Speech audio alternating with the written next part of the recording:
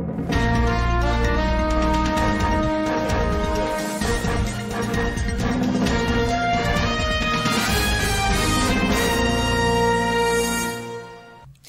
Buon pomeriggio, buon sabato e ben trovati a questo nuovo appuntamento con l'informazione con ETG Marche. Dunque in primo piano andiamo a Fabriano, allarme per la scomparsa di un giovane poco più che trentenne uscito ieri sera per un'escursione in montagna, in serata non ha fatto rientro a casa ed è così scattato l'allarme da parte dei familiari. L'auto del ragazzo è stata ritrovata in località Vetralla in uno spazio spazio da dove poi ha inizio un sentiero, probabilmente quello imboccato eh, dall'escursionista scomparso. Al momento sul posto, come vedete anche da questi scatti, stanno lavorando da ieri sera eh, i vigili del fuoco.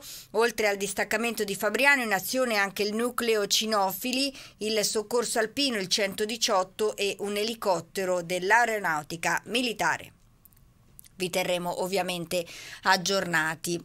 Ed ora invece andiamo a Visso questa mattina, inaugurazione della nuova piazza del paese, mentre quella storica ancora stretta nella zona rossa, il nuovo centro ospita servizi sanitari, tra cui un poliambulatorio pediatrico, attività economiche e produttive, servizi di culto eh, e poi eh, ancora eh, punti di aggregazione sociale e culturale, finanziato con i fondi della protezione eh, civile con gli sms solidali eh, si sviluppa su un'area di circa eh, 16.000 eh, metri quadrati con strutture eh, temporanee finalizzate a garantire la continuità dei servizi e l'economia cittadina che sono stati compromessi eh, ovviamente dal sisma del 2016 e ovviamente questo è solo un estratto, questa immagine che abbiamo visto vedremo poi l'approfondimento questa sera nel corso del nostro notiziario con un servizio alle 19.20 e presto anche ovviamente sul nostro sito sempre aggiornato www.etvmarche.it. Ed ora invece andiamo ad Ancona eh, per eh, un'iniziativa il prossimo 2 ottobre, il Gran Mercato del Piano, proprio nel quartiere Piano San Lazzaro. Vediamo. Questa idea di fare del piano dell'intero quartiere un mercato, come dire, eh, totale, diciamo così, con un evento particolare, credo che sia una idea efficace. Parte dall'identità vera, non se l'inventa del piano, l'amplifica e coinvolge appunto anconetani e non solo. Domenica 2 ottobre sarà la data zero del Gran Mercato del PIA, l'iniziativa che con regolarità riempirà l'intero quartiere del Piano e Piazza d'Armi ad Ancona, un luogo di commercio e di incontro, di aggregazione e recupero dell'identità che ruota tutta attorno alla struttura storica del mercato coperto su cui l'amministrazione comunale è pronta a far partire il progetto di riqualificazione. Siamo al progetto definitivo in corso di di, di redazione e quindi noi contiamo che tra la fine dell'anno e l'inizio del prossimo sia, sia indetta la gara d'appalto dei lavori. Il Gran Mercato del PIA intanto ha un programma delineato dalle 10 alle 22 del 2 ottobre, tre macro aree ideali di interesse, una espositiva e commerciale con varie sezioni merceologiche, una con offerta enogastronomico, una con intrattenimento, musica, teatro, danza e il progetto Gran Orchestra del PIA che vedrà numerosi musicisti di Ancona suonare e contaminarsi con suoni e canti di altre culture. Un evento nato dalla cooperazione tra comune e privati, in particolare l'Associazione degli esercenti di Piazza d'Armi, attiva nel valorizzare il quartiere e chiedere maggiori investimenti in sicurezza. Questo è un quartiere particolare che eh, non credo abbia uguali nella città di Ancona, anche perché qui, come tutti sapete, oltre a essere cuore pulsante del commercio, è anche eh, simbolo di integrazione, tolleranza, eccetera. Naturalmente integrazione significa anche sicurezza, sicurezza per noi eh, dell'associazione significa soprattutto decoro, pulizia, illuminazione, anche il, il, il, punto, di, il punto, fisso di, mh, mm, nei toroidi dove era stato allestito praticamente un punto di riferimento della polizia locale eh, con l'ausilio dei carabinieri e polizia queste, queste sono tutte, tutte, cose che servono soprattutto a noi naturalmente del mercato, alla, al quartiere, ma anche all'integrazione vera e propria. Ed ora parliamo della cremazione degli animali domestici con una idea imprenditoriale nuova di due giovani a Civitanova Marche. Vediamo.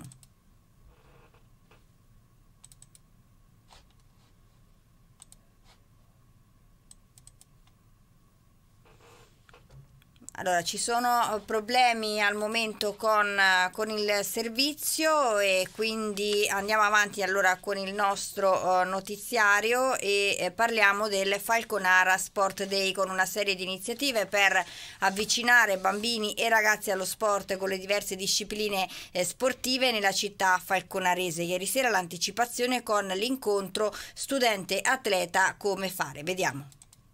Avendo sempre ogni giorno un impegno sportivo tra allenamenti e partite, cerco tramite il mio tempo libero di organizzarmi al meglio con lo studio e di stare a ascoltare meglio possibile in classe in modo da lavorare di meno a casa, diciamo.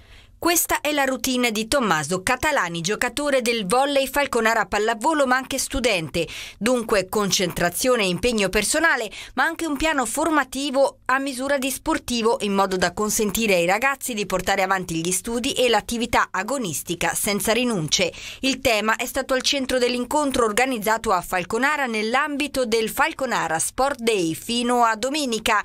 In questo weekend dimostrazioni e prove gratuite con le 22 società sportive falconaresi per coinvolgere bambini e ragazzi, essendo lo sport garanzia anche di salute e crescita armonica. E poi, se il livello sale, si arriva all'agonismo, continuare a studiare è possibile, come avviene al liceo con indirizzo sportivo Cambi Serrani. Lì ha studiato negli anni scorsi Erika, ora calciatrice e studentessa universitaria. Arrivare nella realtà falconarese mi ha aiutato per diversi aspetti, come appunto poi l'incontro con il liceo sportivo che sicuramente mi ha aiutato tantissimo eh, a, a, coniugare entrambi gli aspetti, ovvero l'aspetto sportivo e l'aspetto dello studio. Questo è un doppio ruolo in questo momento che mi gioco, nel senso che sono uh, sindaco e quindi in questo senso veramente uh, orgogliosa di questa iniziativa, ma uh, come dirigente scolastica di un liceo sportivo e tra l'altro Erika è stata una nostra studentessa,